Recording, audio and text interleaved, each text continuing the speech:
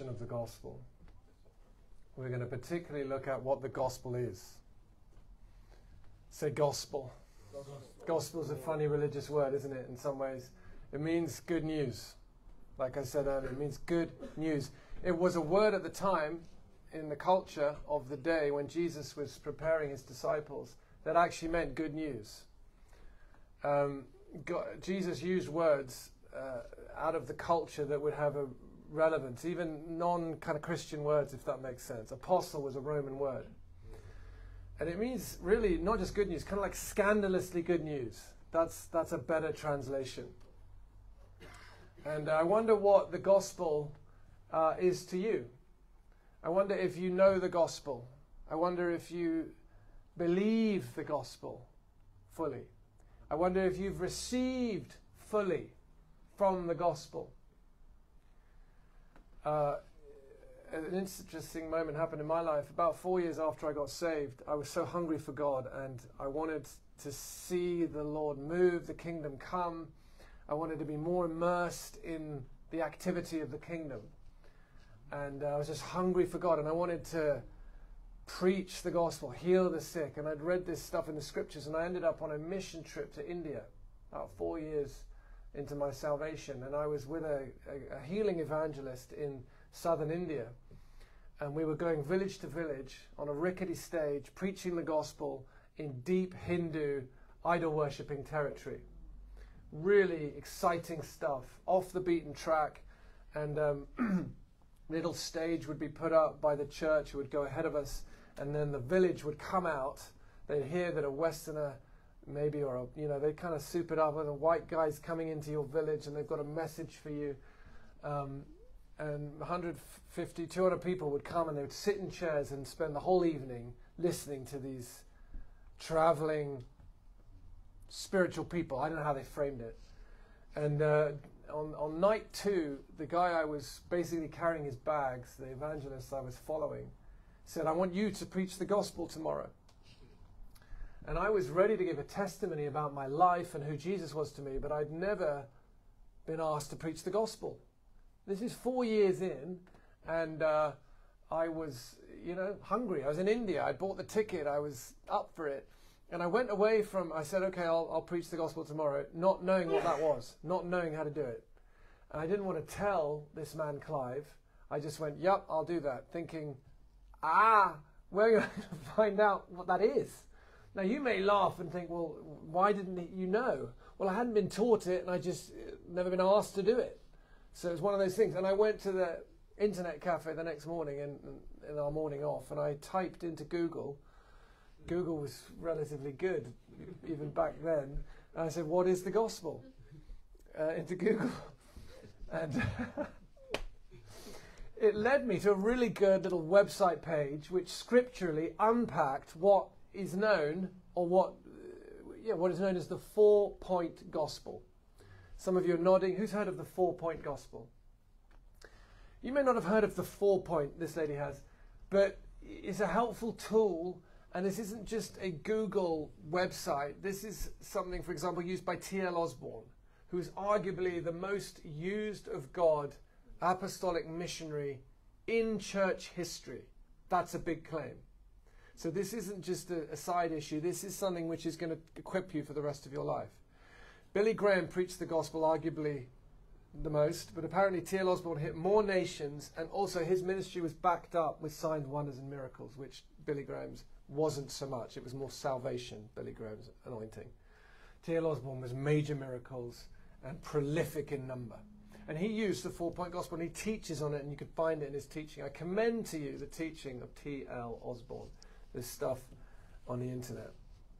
I want to teach you the four point gospel so that if someone says to you, oh, by the way, if you were told to preach the gospel for five minutes right now, would you be able to do it?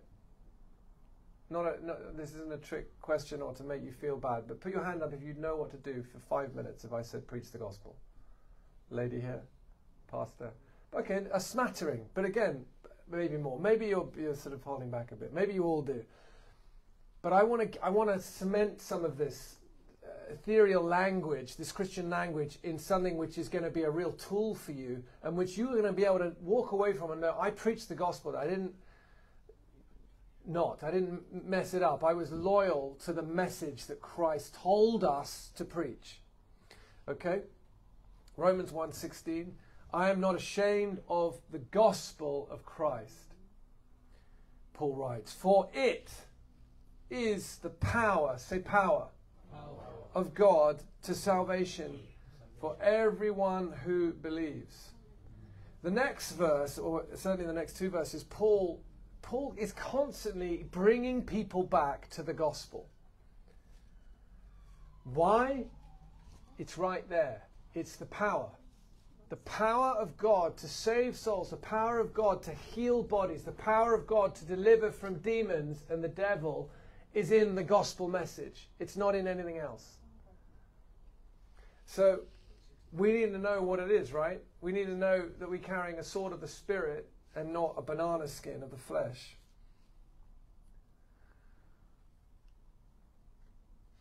Let's go. Um, let me just read a few scriptures here. Galatians 6, verse 14. God forbid that I should boast except in the cross of our Lord Jesus Christ, by whom the world has been crucified to me and I to the world. I want to encourage you to get into that posture. Where's the boast? Jesus Christ crucified. That's the thing we boast in. That's the thing we. If you want to be a boaster, be one, but boast about the right thing. Boast about Jesus. Boast about what he's done. This was Paul's uh, posture. Paul, famously in 1 Corinthians 2, in fact, key scripture really uh, is 1 Corinthians. In fact, we'll go there now. 1 Corinthians 1, if you could just go with me in your Bible.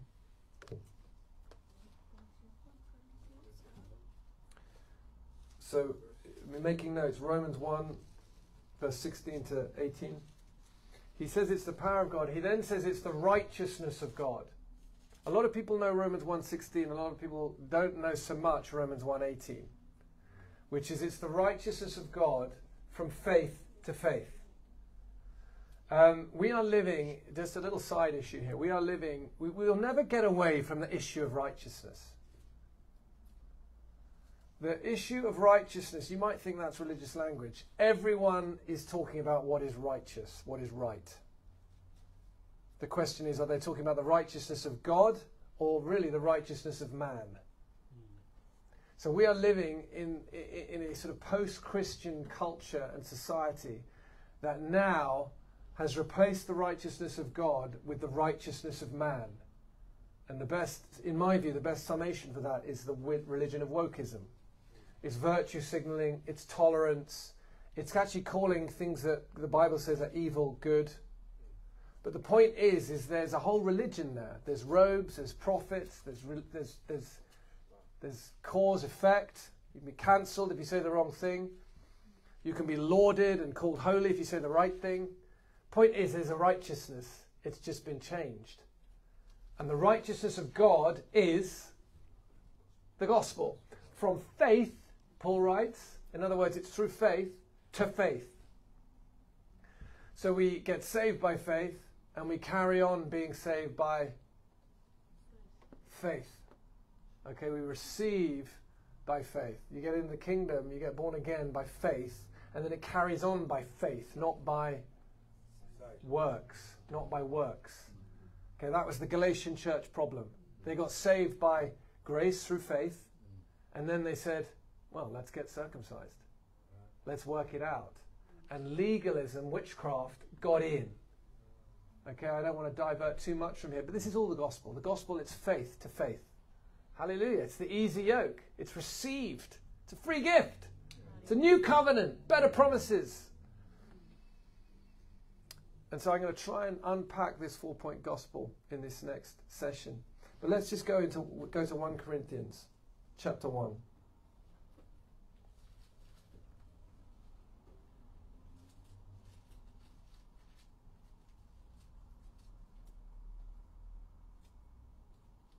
And let's go from uh, verse 17. Now, we're going to flow right into 1 Corinthians 2. And of course, chapters and verses can be really helpful. I love knowing the address of a scripture. But I, sometimes it can be unhelpful because we we sort of seclude bits of scripture that Paul didn't actually seclude. Just a point that's helped me. Verse 17 For Christ did not send me to baptize, but to preach the gospel. You guys are sent to preach the gospel. Your life will preach it, your words will preach it. Not with wisdom of words, lest the cross of Christ should be made of no effect. For the message of the cross is foolishness to those who are perishing, but to us who are being saved, it is the power of God. There's that repetition of the word power. The power of God is in the cross, the power of the God is in the gospel. And what you're going to see in a second in 1 Corinthians 2 is where, what is the power of God, by the way, on the earth? Huh? What, what, how does it operate? Yes, it's the gospel. It comes through the gospel. Well, what is the actual power? If, so, if a power encounter happened to you now, which I pray it does, what would it be? How? Right, but who? Okay, better question. Who would do it? Thank you. I, I, I, should have phrased that better, probably. It's the Holy Spirit, right? And, and, and angels, okay? Angels do it as well at the bidding of God. Um, so the Holy Spirit loves what message? The gospel. You're going to see that in a second. The Holy Spirit gets excited by the gospel, and so do demons. Excited in a different way. Okay. For the message of cross is foolishness. But us is being said, it's the power of God. Verse 19. I will destroy the wisdom of the wise and bring to nothing the understanding of the prudent. Where is the wise? Where is the scribe? Where is the disputer of this age? Key verse coming up. Has not God made foolish the wisdom of this world? For since in the wisdom of God, the world through wisdom did not know God, it pleased God through the foolishness of the message preached to save those who believe. Some of you, particularly the intellectual types, particularly those who like to be esteemed um, as wise, and probably that's all of us on some level, you know, our flesh does, right?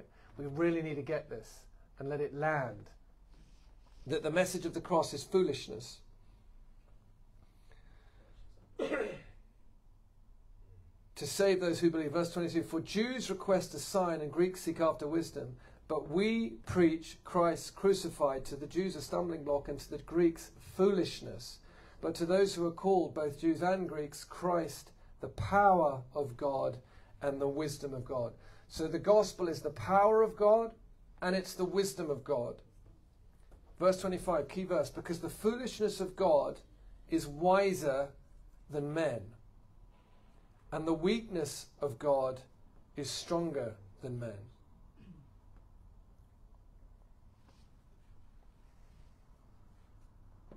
It's kind of almost like a, what's the word? Um, a riddle, that verse. Does anyone feel like it's a bit like a riddle?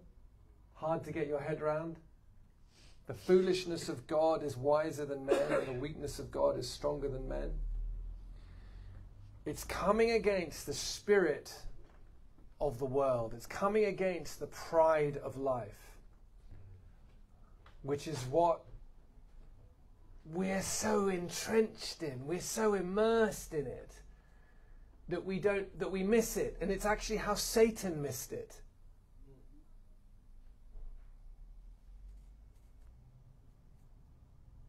But it's glorious. For you see your calling, in fact, um, I need to probably not just just read that in your spare time and flip flip with me. In fact, just go down to verse um, verse thirty. But of him you are in Christ Jesus, who became you're in Christ Jesus, who became for us the wisdom from God and righteousness and sanctification and redemption. Again, Paul unpacking what is in this gospel. What's what did he pay for?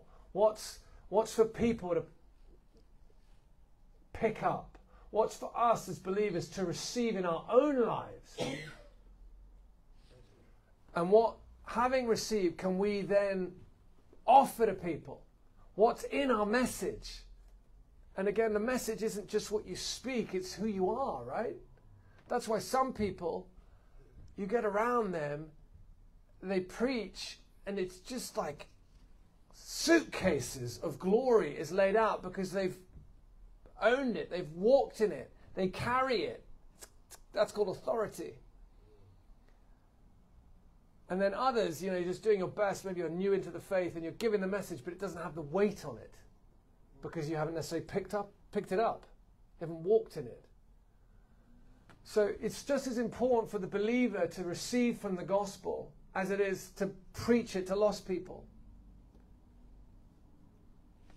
Are you tracking with me? I hope I'm, I'm getting this across. But look what's in there. Verse 31 that as it is written, He who glories, let him glory in the Lord. And I, brethren, when I came to you, I didn't come with excellence of speech or of wisdom declaring to you the testimony of God. For I determined, key verse, to know, not to know anything among you except Jesus Christ and Him crucified. There's the gospel. I was with you in weakness and fear, much trembling. There's an encouragement to anyone who gets nervous. If you're walking with limps, this is what we need. We that weakness, that absolute dependence on Him.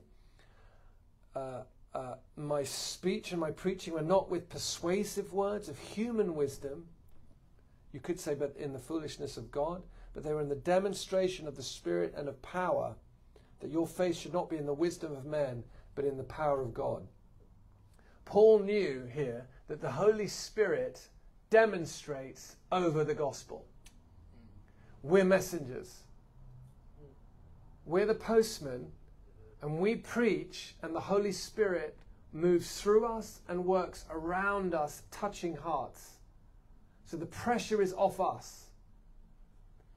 Paul knew that he wasn't there to try and persuade in his own carnal, manipulative ways. He was to be a fool for Christ, deliver the message, and let God do the saving. Let God do the convicting. Okay, that's John 16 8. It's trusting fully that God does only what God can do with his gospel message. Are you tracking with me?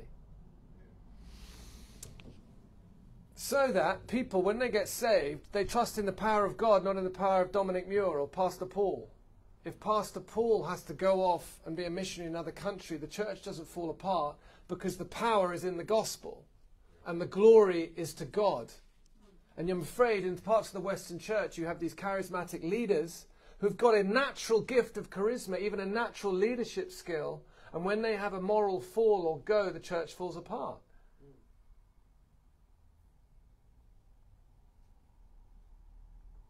rather than a church being built up through the proclamation of the gospel and the move of the Holy Spirit. Simple people, messengers preaching the gospel of power, the gospel of redemption, the gospel of sanctification, the gospel of all the things Paul talked about. Okay? Hallelujah. So let's just get let's get on to uh, what is the four point gospel. Uh, how long do I have, Paul, in this session, please? 20 minutes. 20 minutes left. Praise the Lord. Okay, number one, God's good creation. Write this down. number one, God's good creation. Uh, just above that, if you've left room, I want you to. I want to ask you, what's the gospel in one word? Well, that's the meaning of it, yeah. But if you had one word to preach the gospel, what would you say? Cross. Cross. Good guess. I would disagree, but good guess. Okay, shall I give you the answer? Anyone got any other answers? Huh? The kingdom. Good. Could be King Charles III, though, but yeah. It's hard, right, with one word. Huh? Pretty? Pray. Pre. Oh, pray. Sorry. Uh, good guess. I would say it's Jesus.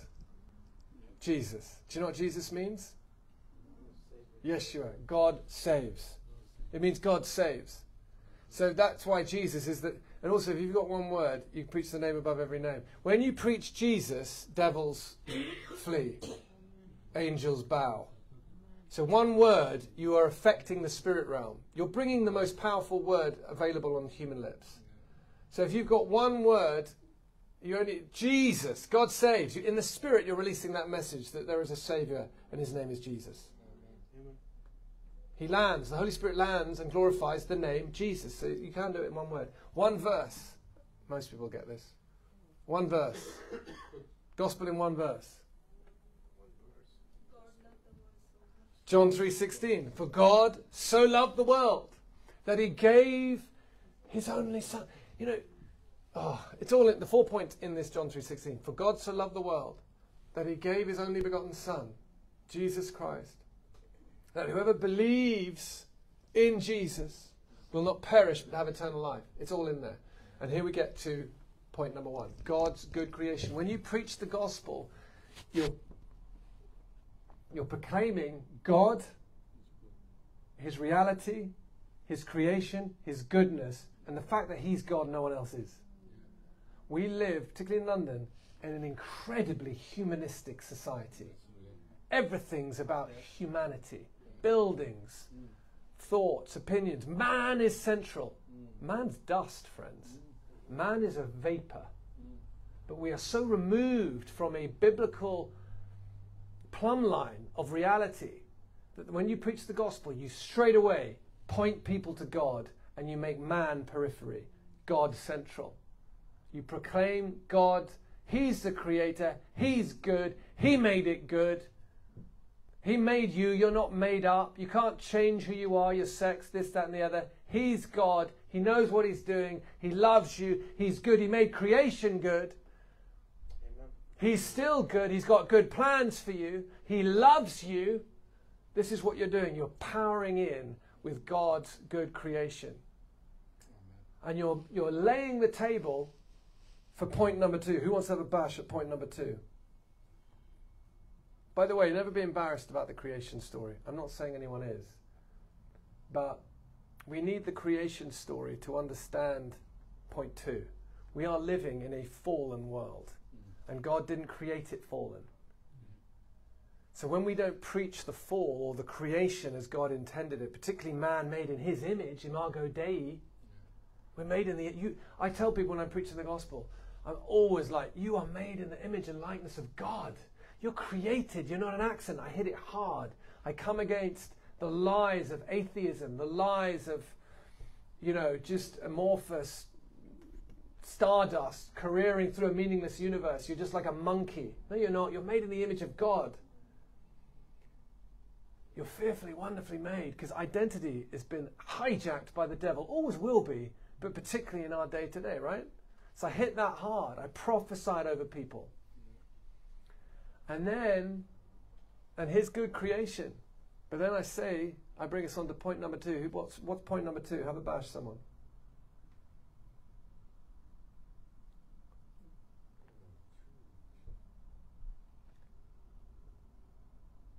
Point number two of the four points. No? No guesses? Hmm?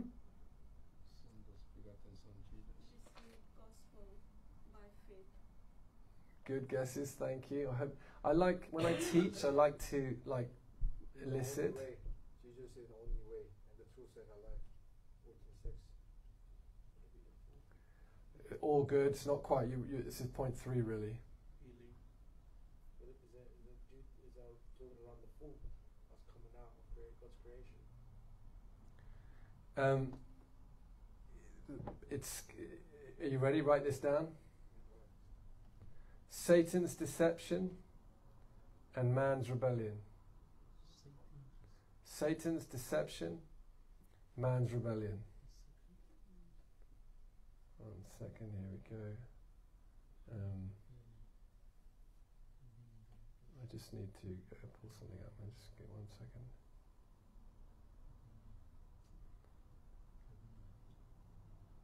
Satan's deception and man's rebellion. Say that with me. Satan's deception and man's rebellion. So, what you're doing with point number one, God's good creation, is you're laying the table for. In some ways, it's e- you could say it's easy to talk about the goodness of God, the love of God. Actually, none, none, no, nothing in the gospel proclamation is easy. But in point, if there is a but, point two, you're going to hit. You're going to expose darkness. Again, all truth exposes darkness, right? But here we're talking about, we're going to start hitting the issue of sin, Satan, and man's rebellion. These are things man doesn't like to, you know, some people are oh, God loves me, great, let's lick my ice cream, carry on with my day, right?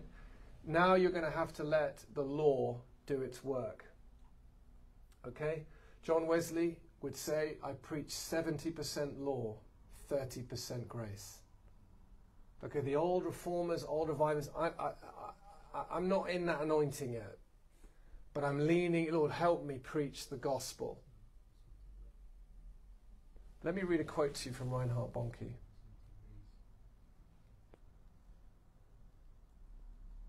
An evangelist is a peculiar being. Do you know who I mean by Reinhard Bonnke? He went to be with the Lord about five, four or five years ago. 70, 80 million souls.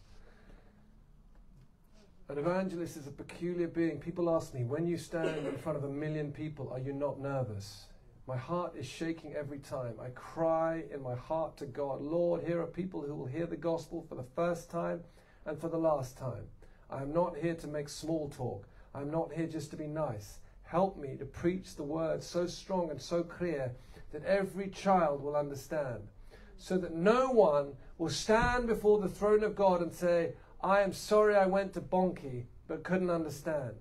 We need to preach the clear gospel, the gospel of salvation. The gospel I've heard in some places disturbs me greatly. They don't even know the evangelistic message. They have not been told. In Jesus' name, let's pre- preach Christ crucified and risen from the dead. I get asked, how do you prepare your sermons? Church sermons serve meals. An evangelist is different. He is preaching to the lost. The evangelistic message is not a broth, a meal, it's a sword. Once you draw it, I know it will cut. And I go to the next city and I use the same sword. I draw it and I know it will cut. The more I use it, the sharper it gets. It gets sharper every time. The evangelist goes to the highways and byways, goes to the sinners and draws the sword of the evangelistic gospel. It will cut. Don't forget that. This will face you. I'm not here to impress people. I'm not here to show how brilliant I can preach. I'm here to see people, people pass from death to life. I'm here to see people pass from the power of Satan to God. I'm here to, to see people pass from hell to heaven. That is where my applause comes from. You see, the sword is a picture of cutting, it's a picture of dividing, is it not? Light from dark, evil from righteousness, hell from heaven, death from life. So, an evangelist really needs to be sharp in these areas. What does he mean by cut?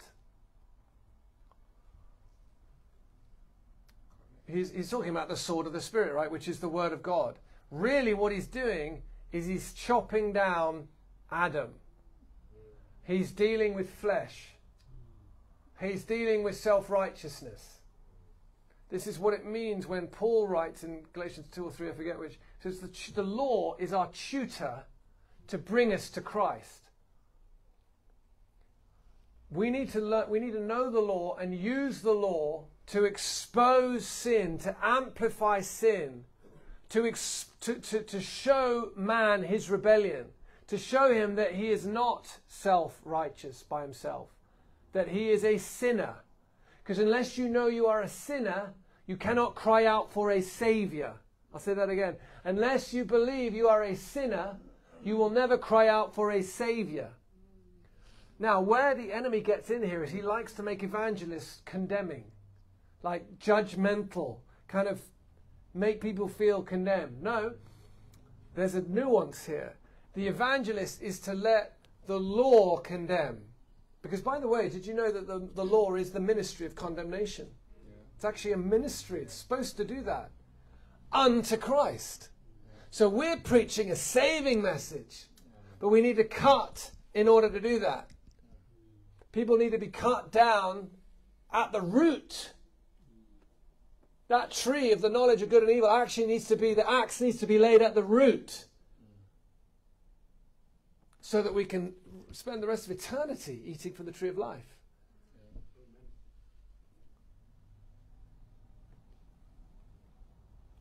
You have people joining churches and living by the law. And they're self righteous on their way to hell, but they go to church every Sunday. And they literally have the Ten Commandments above the altar. Not saying there's anything wrong with the Ten Commandments. The Ten Commandments are great, right? They're God's commandments. The law is perfect. It's good. But legalism is deadly. So what we do is we, we expose the fact that there is a deceiver, there is a satanic kingdom that rules over the earth. Satan has deceived. He did it in the garden, he does it today. He, he accuses man, he accuses God.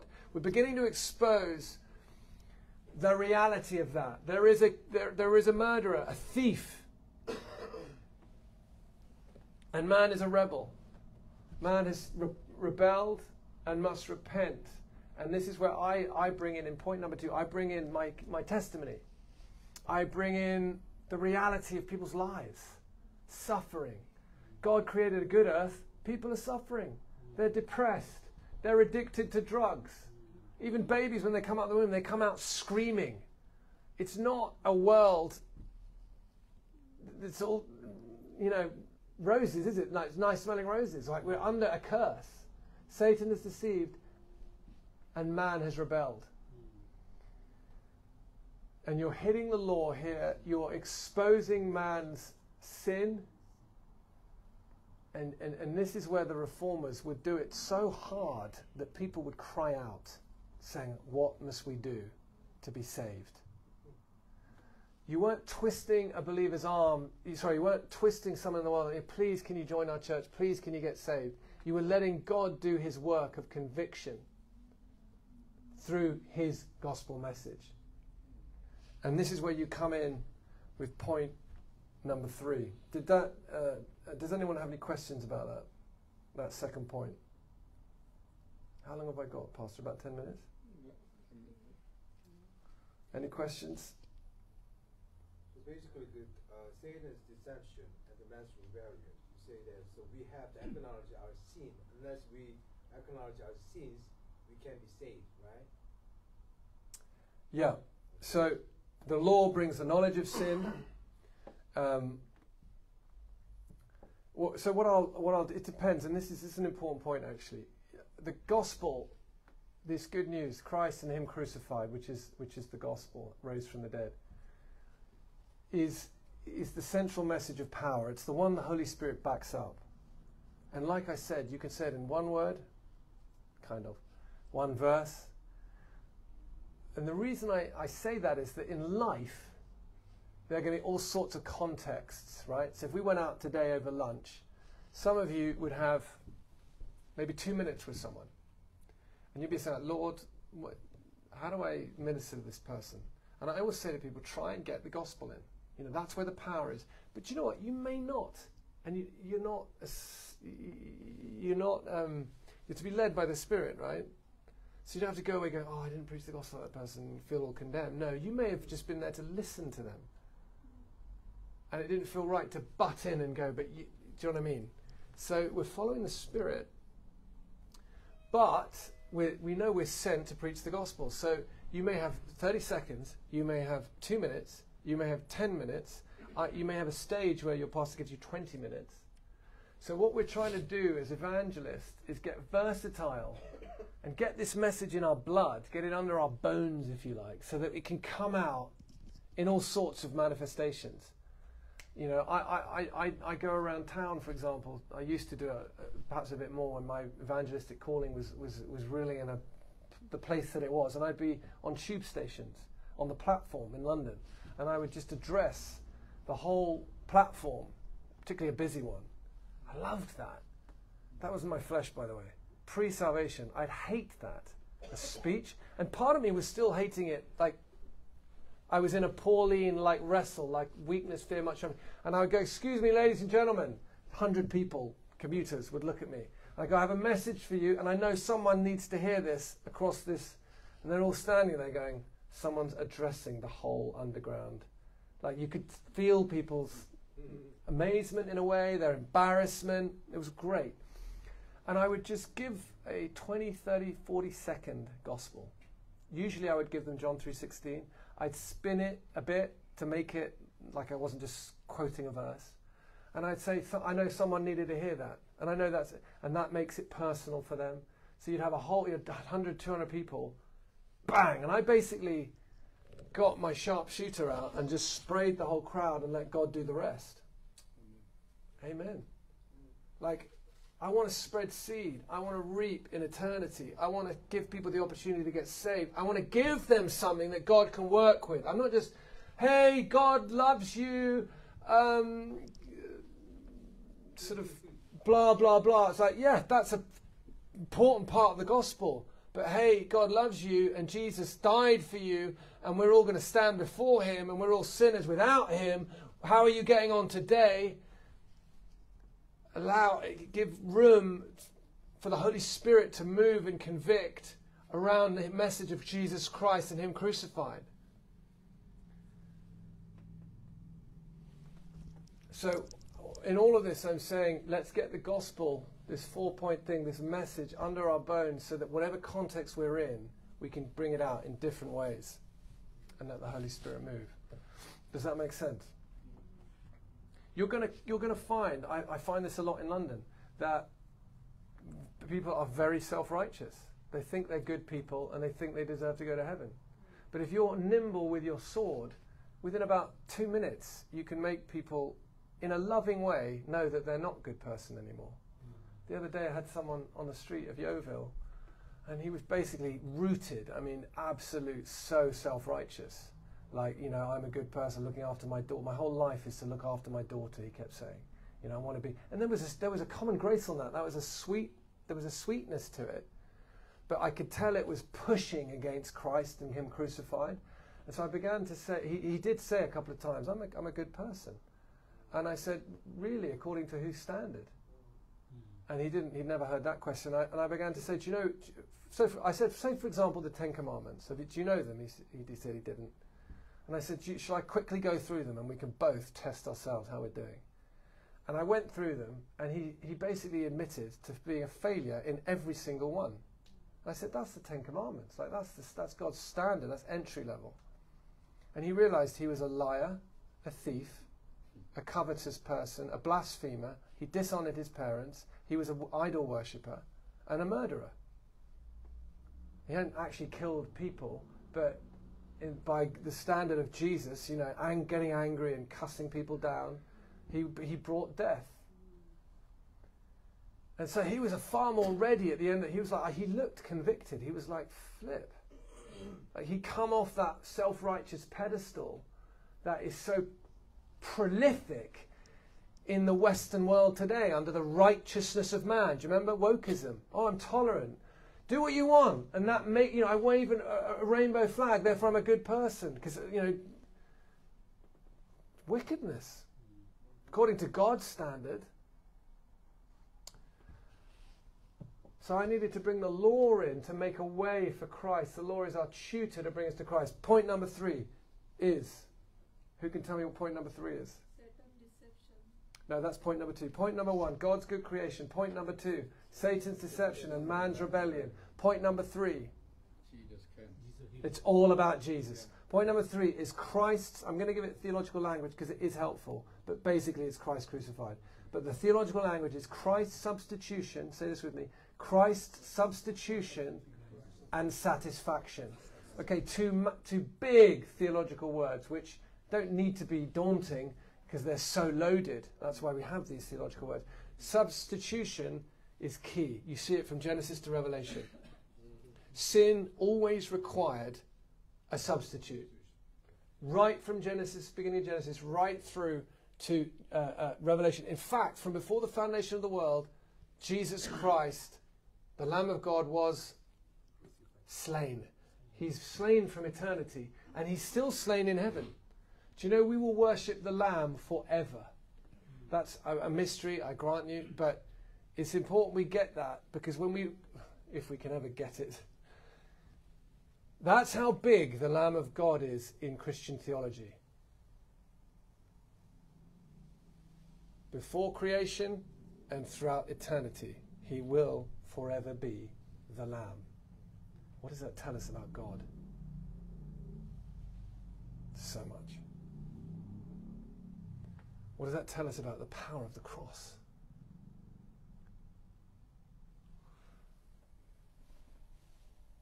He came as a substitute. There has to be a substitute for sin. Without the shedding of blood, there is no remission of sin. It has to be perfect. Every other religion is a fake substitute, it's a fake sacrifice, or it's us working our way to God. The only world where God comes down to us, does it for us, is Christianity. It's the only one with a raised Messiah as well. So Christ's substitution, what Derek Prince is call, calls the divine exchange. Have you heard that expression before? This will change your life. In fact, YouTube, Derek Prince, the divine exchange. Jesus, the verse, the best verse for me, this is 2 Corinthians 5, verse 21. It says this For God made Jesus, who knew no sin, to be sin for us, that we might become. That that there is the most one of the most pregnant words in the whole Bible. That that because it's an exchange. The whole the whole of our eternity pivots on that one word. That. So God made Jesus, who knew no sin, to become sin for us. Jesus didn't just take our sin; He became it. He became utterly repulsive to His Father. God had to turn his face away because he became sin. And it says that. We better tap into that because to make it worth it for Jesus, right? If you love Jesus, that's why the Moravians, the ancient prayer of the Moravians was, May the Lamb of God receive the reward of his suffering. May they just chant it again, again. May the Lamb of God receive the reward of his suffering. May the Lamb of God receive the reward of his suffering. What is his suffering? What is what did the Lamb of God pay for? What's the reward? What did he pay for? You. You. You. He paid for people. He paid for every last soul. He came for people. Is there more in there? Of course, there's healing, there's salvation, there's deliverance, there's blessing, provision. There's so much in what he paid for. And he paid on the cross. Because it said, For God made him, Jesus, who knew no sin, to become sin for us, that we might become the righteousness of God in him. In other words, Jesus took all our sin so that we could have all his righteousness. And in the divine exchange, which Derek Prince, I would suggest, unpacks it the best. Basically, Jesus became our sinfulness so that we could have his righteousness. Jesus became our poverty so that we could have his riches. Jesus became our sickness, was beaten with many stripes so that we could have his wholeness and healing. Jesus became our reject he was rejected so that we could be accepted. Jesus was shamed naked on a cross so that we could have glory and joy and freedom. He took all of the sin and all of the curse so that we can have all of the blessing and all of the righteous standing. Hallelujah. Free gift. Free, simply by receiving. That's what it means at Christ's substitution. Okay, I haven't got too long to unpack this. The second part was what? Satisfaction. Do you remember I said satisfaction? Do you understand? Do you realize, do you realize how many angry people there are today? There's a lot of angry people, aren't there? Have you noticed? And by the way, that, there's nothing really new there. The reason why human beings get angry is because of sin. We live in an unjust, broken world, and people are emoting. And they want justice, and they've been sinned against, and they've been abused. It's interesting to me that we live in probably the thickest age for a while of social justice, a, a, a kind of craving for justice, right? But we don't like the judge. We spurn the judge. The social justice movement spurns the judge. Okay, I'll, I'll, just park that there. But, but what I'm trying to say is that there is an anger that God has. We're made in the image of God, and when we are angry, it actually points to the ultimate, uh, it should point us to the fact that there is an ultimate judge who will, who is angry at sin. He's angry with the wicked every day, the psalmist says, because he's a just judge. Now, the difference with God's anger is it's righteous. It's a righteous anger. Human anger is what? Unrighteous. It's carnal. It's demonic, the Bible says. That's why anger is so destructive, is it not? Yep. Anger is, is murder in nappies. Okay? But there is a righteous anger, and God had to appease, there has to be an appeasing. It's called, the Bible calls it propitiation. That's another theological word propitiation. Jesus is the propitiation of our sin. Who knows what that means? Paying for. Appeasement. There's an appeasement. Do you realize there is a day of wrath coming? I think I talked about it in that preach. There is a day of wrath coming. Because God is angry at sin. And it won't just be swept under the carpet. He can't do that. He's not like us. He's not fickle where it's like, oh, I should let you off. We, we, we even think that's noble to do that. It's not actually. It's not noble, it's unjust. But because God's so loving and because He's got mercy, the only way He can let people off is someone has to pay. So Jesus is the propitiation, the appeasement for divine righteous wrath. On that cross, Jesus satisfied it. That's why God's not angry with me. I'm a saint. I'm well pleasing to God. He loves me. The wrath of God does not hang over me, a born again Christian, but it does hang over the unbeliever. And rightfully so. This is deep. That's John 30, John 3, verse 30, I think it is. The wrath of God abides over the unbeliever.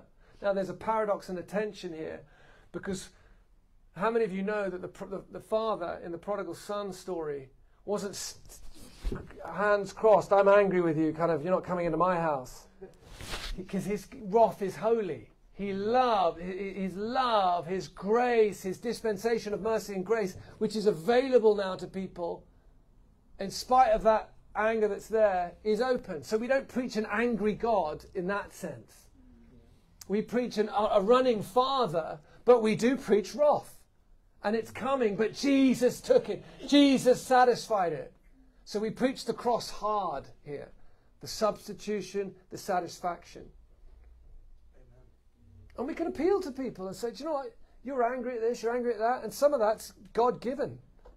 Like you're made in his image and you don't like injustice. But what about you? Where are you? Have you ever sinned? Do you ju- deserve judgment? Again, bring it back. And then people are like, flip. You know, if they're, if they're open, some people, the walls go up and they're proud and they carry on fighting against God. But others are like getting convicted at that stage. And you, as a servant of God, are preaching the gospel to them and making a way for them to come to Jesus and say, I'm guilty. I deserve wrath. I deserve judgment. Jesus, thank you. I call on you. I repent. Bam! They get saved. Point three Christ's substitution, satisfaction. Point number four, I've gone over a little bit. How much have I gone over? Five minutes, ten minutes? Yeah, five minutes. Five minutes, eh? Not too bad.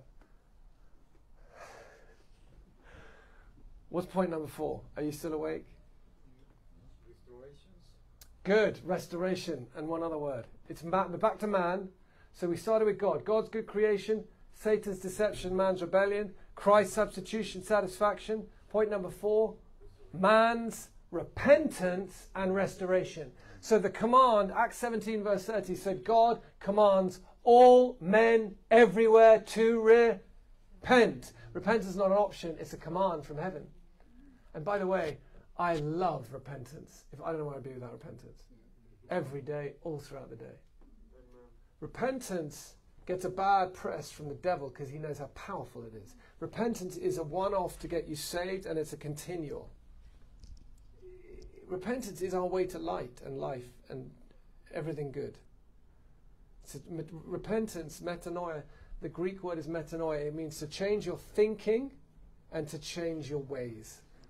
It's a change of mind and belief, but it's also a change of direction. It's basically a change from darkness and lies and sickness and disease and hell to light and truth and freedom and healing and wholeness and everything heavenly. It's a command, but it's beautiful. It's a command, yes, it's offensive. It challenges everything carnal, independent, idolatrous man stands for. You preach repentance, you're not going to be popular. But if you understand what it really means, you can preach it in a way that loves people and calls out to them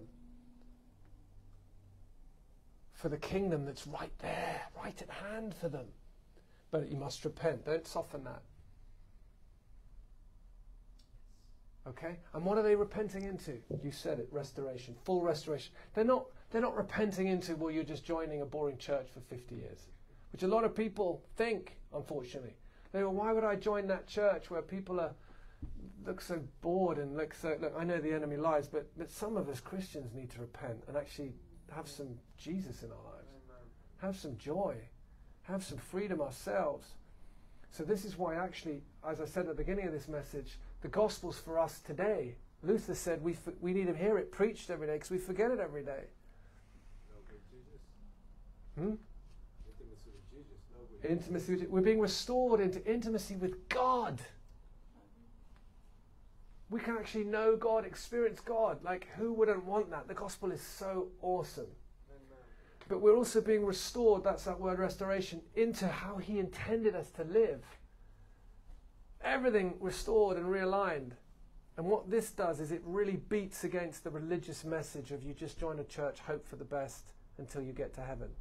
You kind of grin and bear it until uh, get us out of this place. No, that's not the Christian message. The Christian message is thrive and live in it, in the carnage, in the chaos, as an overcomer, restored to God's original plan for humanity, the last Adam. First Adam messed it up. Everyone's in Adam. I'm now in Christ. I'm in the last Adam. I'm a new creation. There's the restoration. I'm an I'm an entirely new race, seeded by God now. I came forth in Adam through my father and mother. I'm now born again. I'm a new creation, seeded by God's willie. Sorry to put it uh, uh, a little bit crudely. Sometimes we need to hear it as it is actually. That did feel a bit crude, but it's okay. I've had I've been meditating on, on what it means to, to be a seed. On a seed, I, I live in the I live out in the farm farmlands of Somerset. There's so much in creation that speaks of the kingdom. The seed, the word that goes out, unless a grain of wheat falls into the ground and dies, it remains alone. That was of Jesus, but it's also of us. I'm learning this now. We'll keep coming back to this particularly as we hit evangelism. I'll do a little um, cliffhanger. Pretty much my number one, ex- my number one key for evangelism is turn up and die.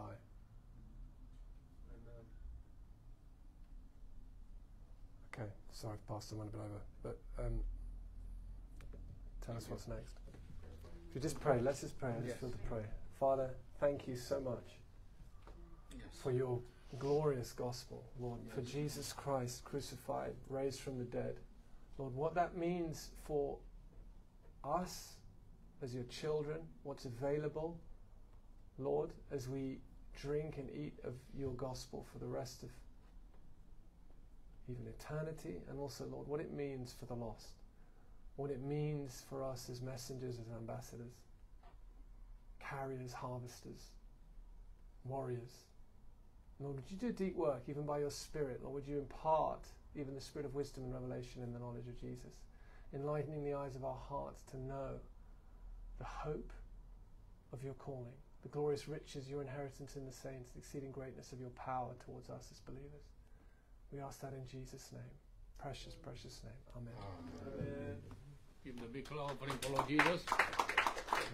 Did you enjoy, eh? yeah?